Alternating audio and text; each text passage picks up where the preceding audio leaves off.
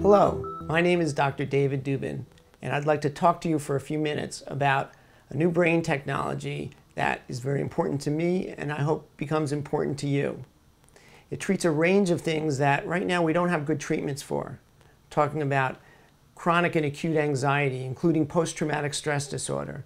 I'm talking about depression and ADD, and I'm even talking about traumatic brain injury, TBI. Studies are now in place treating former NFL football players and former Marines with TBI and post-traumatic stress disorder.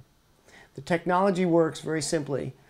There's sensors on the scalp, it tracks brain waves, and then a tiny signal is sent back to the brain, very, very tiny, nothing you can feel, that causes a slight fluctuation in brain waves, and it allows the brain to get out of frozen stuck patterns. It's like rebooting a frozen computer. It's very rewarding personally to work with this technology because you see changes so fast within the first few sessions they begin.